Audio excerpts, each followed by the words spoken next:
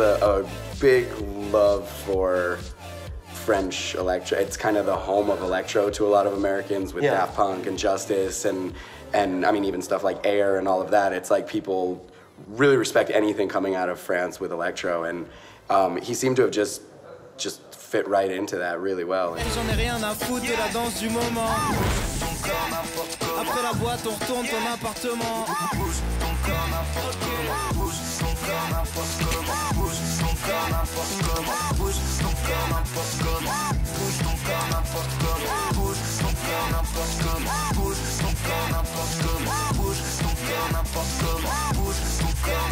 Toxique, on voit bien que c'est un événement. Donc, euh, si les Américains ne s'y trompent pas, Chinois non plus, c'est que voilà, le talent est là, il est avéré. I first heard of of Toxic years ago in the LA scene because um, Comics and Frankie Chan are so big in LA, and um, I knew he was on their roster, and I would see his name on the flyers and all that, and I, I didn't even know he was from France at all. C'est pas étonnant qu'un artiste comme euh, Toxic ait été signé d'abord aux États-Unis euh, sur, euh, sur un label américain euh, qui lui proposait à la fois de signer des maxi et en même temps de le faire tourner là-bas.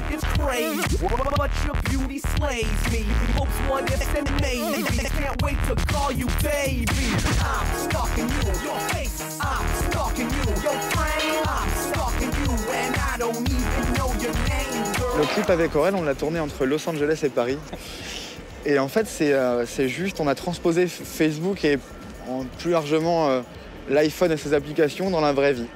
C'est-à-dire que par exemple, on va croiser quelqu'un dans la rue, on va l'ajouter comme un ami en le touchant.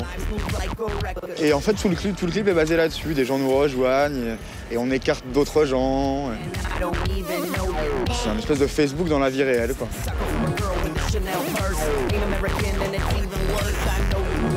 Encore une fois, c'est à l'image du morceau. C'est un- juste un truc entre, entre, entre potes où on s'est amusé avec des jolies filles à Los Angeles. Tout comme on s'est amusé à faire le morceau. Dans les boîtes de province, c'est toujours la même soupe. En 2010, il passe encore Fat Man Scoop. C'est ma vodka, ma Red Bull. Le reste, on s'en bat les couilles. Bébé, viens faire la fête avec nous. Si t'es né avant 92. Toxique, passe derrière les platines, s'il te plaît. Avant que j'assassine un disc jockey. Les gens ont découvert euh, Daft il y a 10 ans, ils ont découvert euh, Ju- Justice sur scène qui est extrêmement bien, et ils découvrent Simon euh, sur scène qui est euh, incroyable en fait. Quoi. ce qu'on appelait la French Touch 2.0, où là, euh, on est tombé sur des kids euh, qui avaient digéré tout ça, plus tout le break, tout, tout le hip-hop, plus tout le hard rock, plus tous ces sons un peu gras, euh, etc., qui ont aussi un, un moyen d'expression avec l'arrivée des blogs et l'explosion de MySpace. C'est là qu'on a vu apparaître euh, des gens comme Justice, euh, plein d'autres, notamment euh, Toxic Avenger. Bouge tes jambes, danse, fais bouger tes sous-vêtements. Tous les week-ends, c'est le nouvel an. Et je sais pas si c'est parce que je suis sous les lampes ou si c'est la vodka qui commence à bousiller mes sens. Mais je trouve toutes les filles sexy. Arrêtez les stroboscopes, je vais faire une crise d'épilepsie. Chérie, tu m'excites, prends mon 0231. Oh puis merde, prends tes fringues et viens.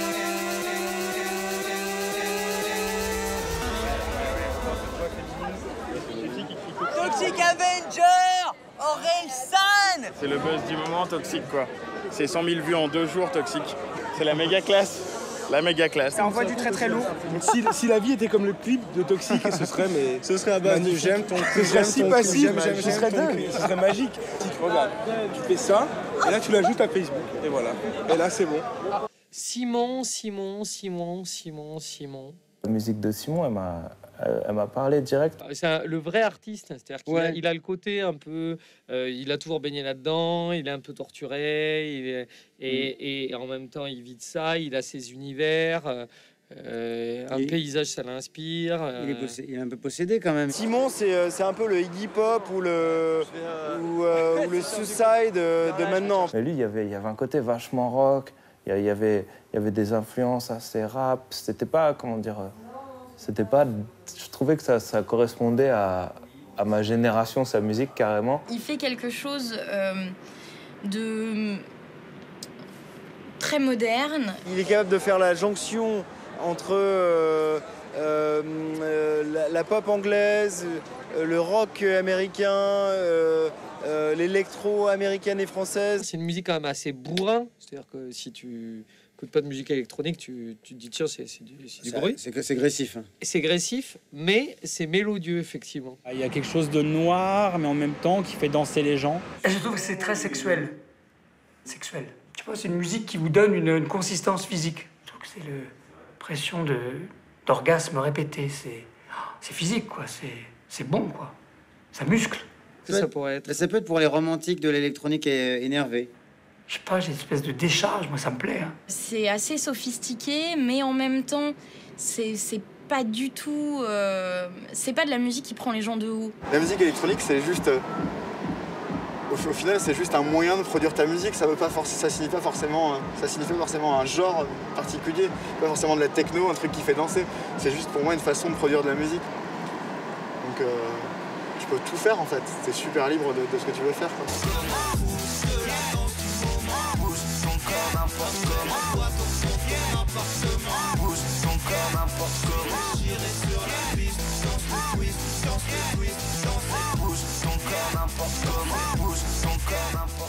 C'est un DJ, moi je suis un rappeur. En général, ça, ça fonctionne, tu vois. C'est un morceau que moi j'assume et que Orelsan assume pareil à 100%, même si mon album a pas grand chose à voir parce qu'il est plus sombre et euh, peut-être un peu plus paix. On se retrouve bien, on, a, on, a est à peu près au même croisement de croisements musicaux.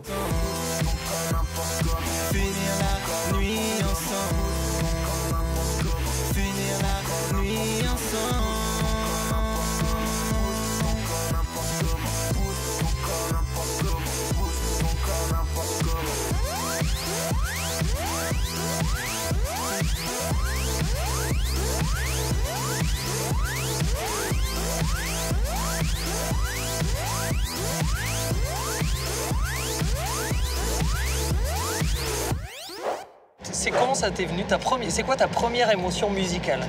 D'aussi loin que tu te, tu vois? C'est c'est un groupe qui s'appelait Carte de séjour. Le, le- le- le premier groupe de Rachid Taha. Parce que mon père avait le vinyle et, euh, et il reprenait Douce France. C'était un truc de. Je me souviens de C'est un ce truc d'époque quoi. Et, euh, France. Et j'écoutais beaucoup, c'est ça. Ça et Kajagougou. Je sais pas si tu te rappelles de Kajagougou. Très bien aussi. Shai Shai, le machin. Et ça c'était ouais, c'était. Et Black Machine avec Street Dance. Street dance. C'était du street Smurf. dance. Ah, du Smurf aussi. Mon père avait ça et j'écoutais que ça. Et Et, tu- Da Da Da, trio, Da Da Da, très bon. Da Da Da.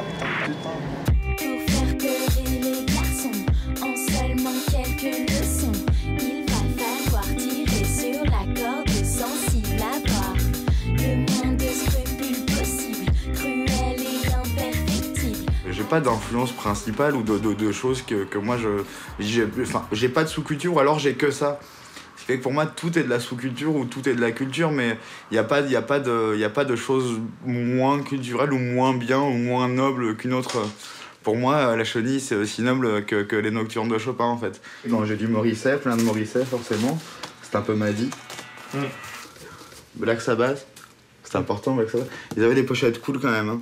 Danger d'amour de Johnny Hallyday, Danger d'amour. À côté de ça, il y a du Justice aussi, hein, c'est important, Justice. Moi, je, euh, j'ai passé vachement de temps à- chez moi. En fait, avant de sortir beaucoup, j'étais un type vachement casanier. Et euh, bah, ça m'a toujours intéressé de découvrir des trucs. que- Ça m'a toujours intéressé de faire découvrir aux gens des trucs qu'ils connaissaient pas en fait. Voilà, du Blondie, important pour moi aussi, Blondie. Black Machine. Rappelles de ça? C'était vachement bien. Ça, c'était un de mes vieux disques, j'ai même j'ai pas ouvert. Du coup, je, leur- je, je- je- je passais mon temps à chercher des raretés, des trucs euh, complètement incongrus. Encore du Morisset. Du visage. Moi, j'ai les disques des Q. En fait, c'est vraiment ma culture, ça, tu vois. Le... C'est ce rock-là, quoi. J'ai encore plein de Bowie. Un live de Bowie que, que, que peu de gens connaissent, qui est très très bien. Voilà, du Madness. Oh, bah si, si. Moi, c'est important, j'adorais, avoir eu l'idée de cette pochette.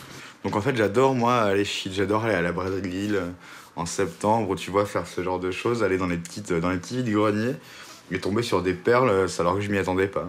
C'est une chose que je fais assez souvent. En version française, c'est Yves Mourouzi qui chantait ça. Il s'appelait 19. C'est un disque d'électro hip-hop. Dexys Midnight Runner. Dexys Midnight Runner, c'est un groupe dont personne ne se rappelle le nom, mais, tout, le monde, donc, tout le monde connaît la musique. Niklaus Nomi me faisait très peur quand j'étais petit. Je passe mon temps à écouter des nouvelles choses. Et pas forcément dans mon domaine et pas forcément des choses que j'aime, mais j'ai besoin d'entendre de nouvelles choses et de savoir ce qui se fait ou ce qui s'est fait. Parce qu'en fait, euh, c'est tellement large que. qu'il y a des trucs, des trucs qu'on connaît pas encore et qui sont sortis il y a 30 ans et que tu vois. C'est mon petit côté disco, hein, tu vois. Loper, hein. j'ai même du Sacha Distel, tu vois. Les Pink Floyd. Je montre que les trucs classe, que j'ai pas que du classe non plus, tu vois. Le groupe de l'album s'appelle Crocus.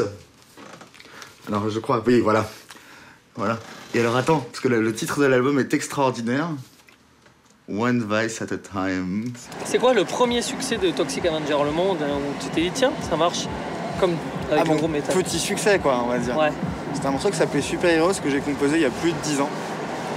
J'ai un peu refait pour l'occasion. Et euh, avec ce morceau-là, j'ai eu ma première signature dans un label américain qui s'appelle Iron Comics. Je l'ai mis sur internet et en deux semaines, j'avais ma signature. C'était plutôt euh, de bon augure.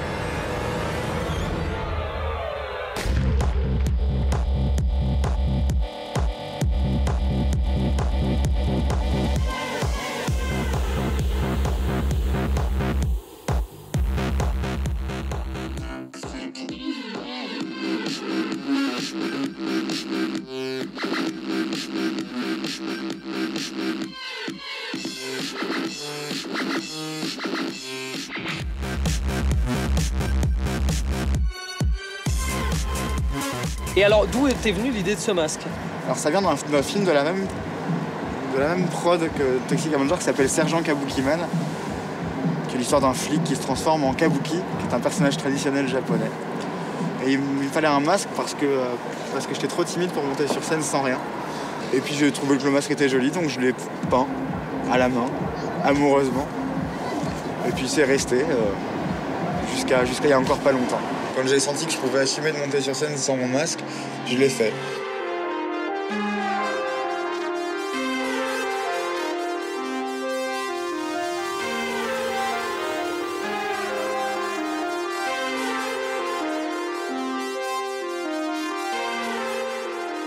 Donc du coup toi tu tournes, tu tournes, tu tournes, tu tournes.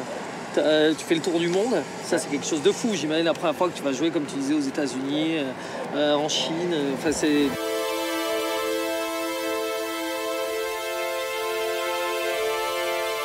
He's an entertaining guy, and it's fun to watch him. You know what I mean? Sometimes it's not fun to watch DJs, Yeah. but with him, you know it's going to be crazy. Il est à fond et forcément, bah, quand on voit quelqu'un à fond sur scène, et ben, euh, on est avec lui. quoi. C'est Sex Pistols en version électro quoi.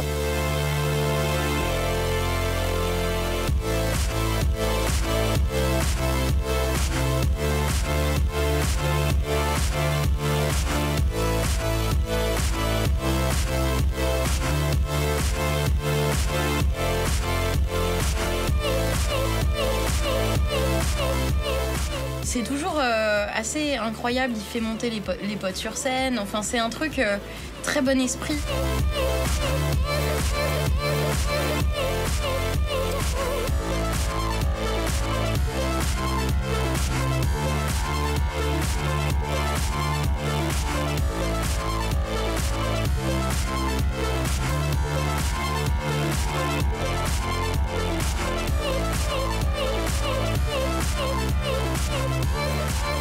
Really think like the electro scene in America that that Toxic's a part of is has changed crowd audiences. Where instead you just watch it and kind of be like, oh, that's good music. Yeah. Now you're the audience is involved because of, of guys like Simon.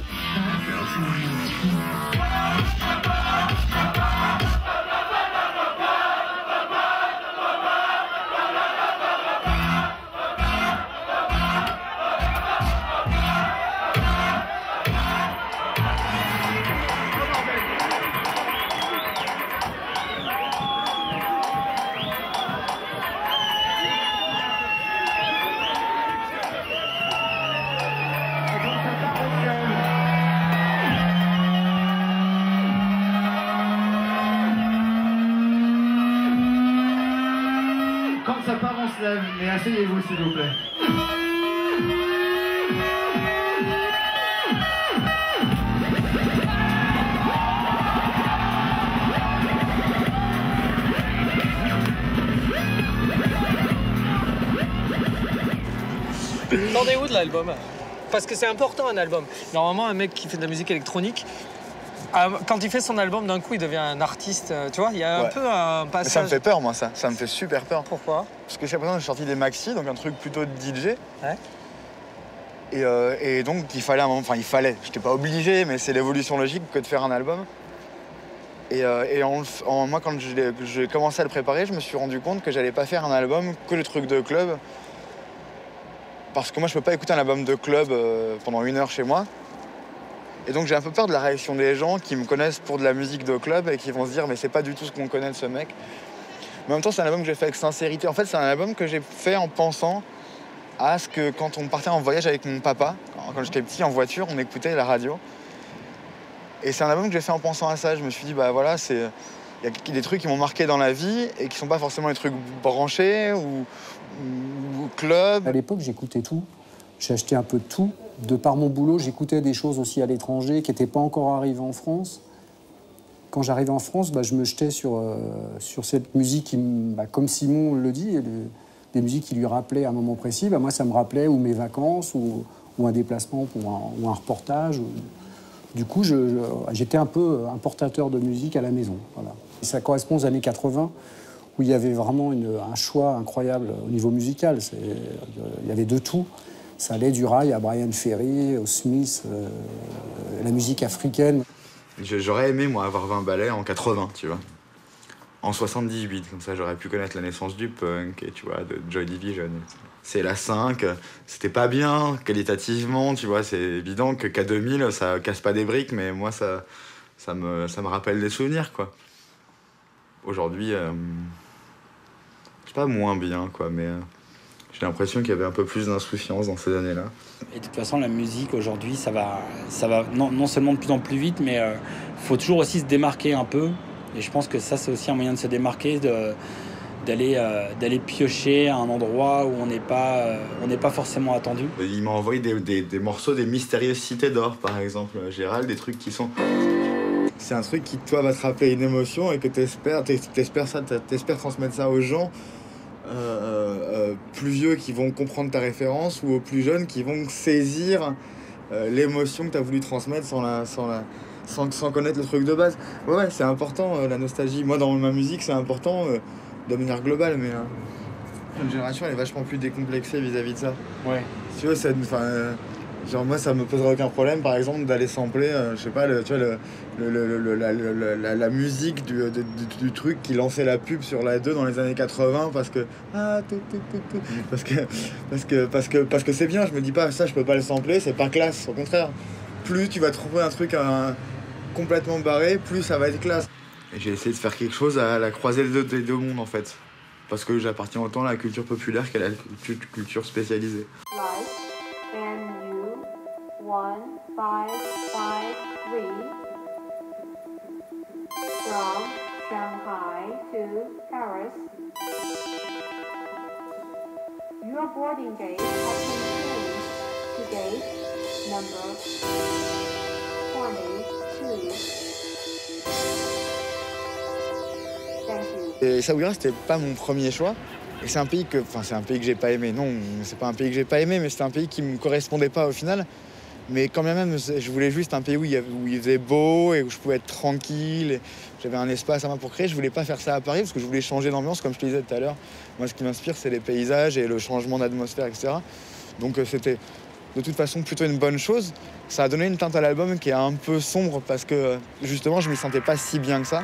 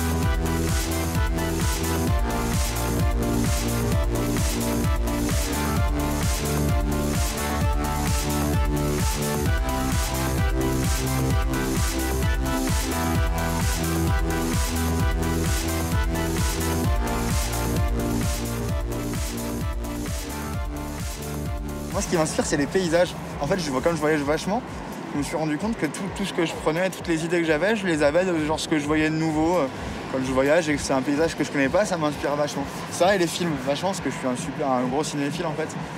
Et euh, tout ce que, ouais, tous les films que je regarde euh, m'inspirent vachement. New York 97, mais tout Carpenter est important.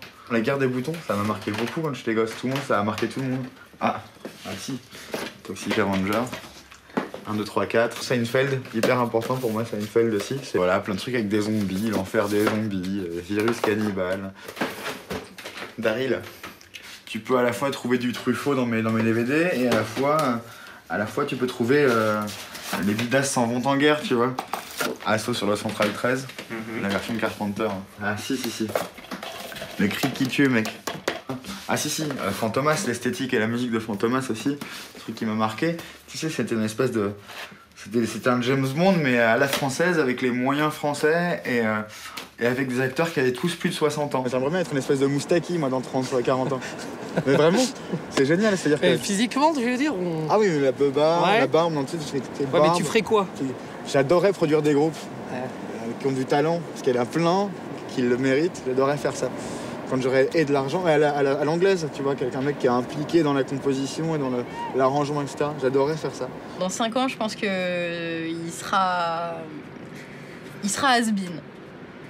Et c'est un peu son rêve. Bah, dans 5 ans, il aura forcément. euh, il va retourner aux États-Unis, comme tous les bons. Il va, il va finir par faire des musiques pour des, pour des, pour des gros trucs à Hollywood, j'imagine. Mais un de mes buts ultimes, c'est de faire une BO de film. J'adorerais ça. Tu te rappelles de, de ce yogi qui passait dans C'est mon choix? Arrivait à se mettre dans des boîtes de 20 cm de côté. Ah, ou à- incroyable. Arrêtez, arrêtez de faire battre son cœur. On s'est dit que si l'album marchait, qu'on avait de l'argent, on allait faire un stage chez lui.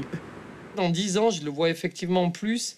Je vois que ça le démange de prendre des instruments et de faire. le folk. De, de faire le folk, ouais, de, de se tatouer des paroles de Bon Hiver sur le bras et tout ça. Tu sens qu'il fait danser les gens, qu'au bout d'un moment, il va vieillir, comme nous, pour l'instant, il est un peu plus jeune. Au bout d'un moment, il va se dire Hé, Je suis claqué. je suis claqué, mec, j'en ai marre des discothèques. J'ai envie de jouer à 20h30. Voilà, et il va se prendre sa guitare et, euh, et il, va, il va faire des albums. Le premier sera pas très bon. Euh, le deuxième sera mieux. Ouais, et le troisième, alors là, Ah, le troisième, consécration. consécration, l'album cons- de la maturité. Consécration. C'est vraiment les seuls à utiliser ça en fait. Et ils, ils sortent tous leurs morceaux. Les...